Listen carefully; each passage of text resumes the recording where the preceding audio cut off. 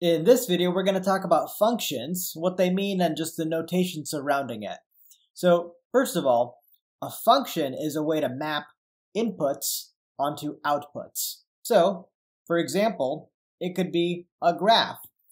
When we talked about linear equations, linear equations are in fact examples of a function. When we had something like y equals 3x plus 5, and the graph looked like this, Instead of y equals 3x plus 5, we could write it as f of x equals 3x plus 5. So here's what it's saying. So here then, if we write it like that, here's what this f of x, this function, is really representing. It's representing a way to take the x's and turn them into something else. Uh, and you're always doing that same thing when you're turning it into something else. So for example, if x is 1, this 3x plus 5 is going to output 3 times 1 plus 5. The corresponding y value would be 8. But that process of multiply by 3 and then add 5 is the same no matter what x you plug in. That's what a function is. It's doing the same thing no matter what x you plug in. If you plug in x equals 2, you're still going to do the same thing. You're going to multiply it by 3, then you're going to add 5, and then you're going to get another output, and that's f of, uh, f of 2. So notation-wise, if you wanted to find the specific output, the specific y value, when x is uh, 8 versus x is 10 versus x is any other number, you're just going to do f of that x value. So if you wanted to find the y value when x is 10, you're going to ask yourself what's f of 10. So what does f of 10 mean? When you look at f of 10, that's basically a number. That is specifically the y value when x is 10. So that's the, that's the difference. If you were to look at this f of x versus f of 3, big picture, one of these guys is an equation, the other is a number. So f of 3 is a number. It's a specific output when x is 3. This guy, though, is the equation. It's, it's representing what you do to any generic thing that you would hypothetically input. Now, a couple points on notation.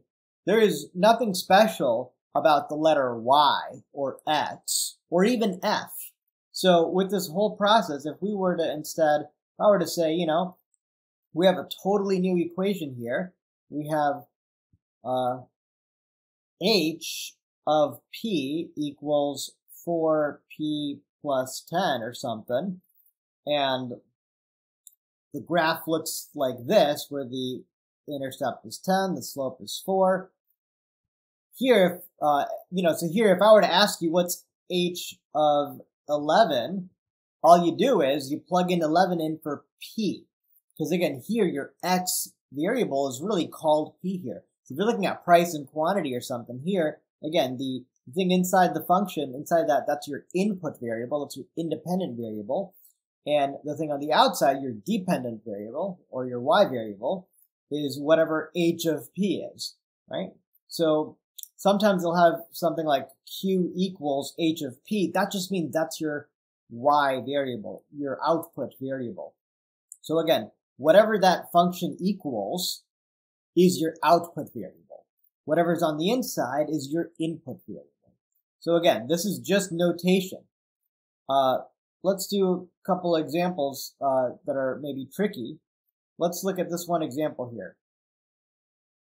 If f of x equals 4x squared plus 5, what is f of y? I mean, looking at that, that seems really freaky. Like, what is f of y? I don't know. Like, why is this whole thing? What is f of that? Huh.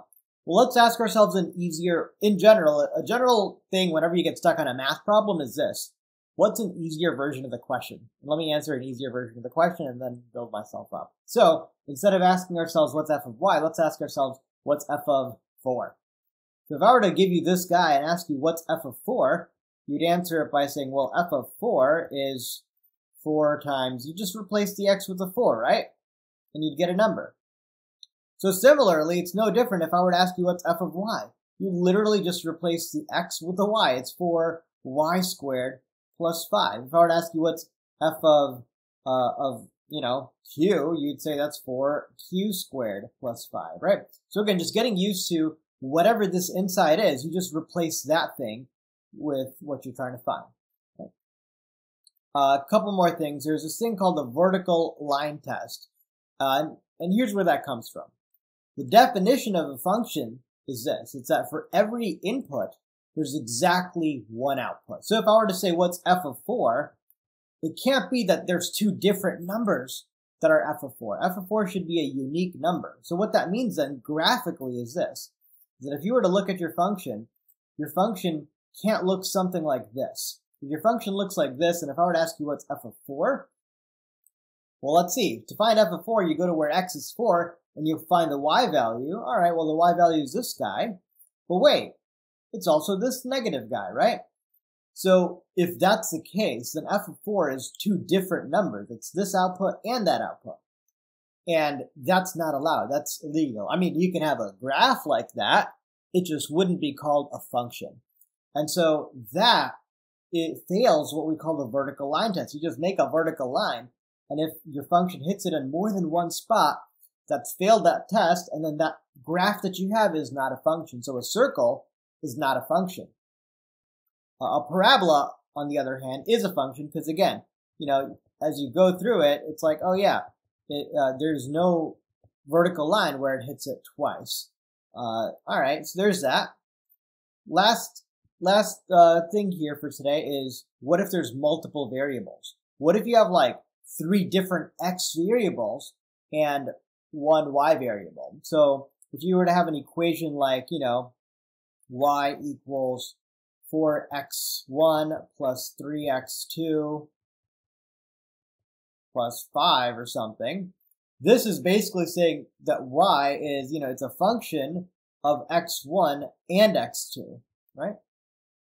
And again, it doesn't, there's nothing special about these things with subscript. If I were to just give you literally like, you know, m equals, uh, 3n squared plus 5p plus z. Well, here your function m is just like it's a function of what are the all the different input variables n, p, and z. So really, anytime you see a function where on the inside there's commas, all that means is that there's more than one x variable that's being used to get your output.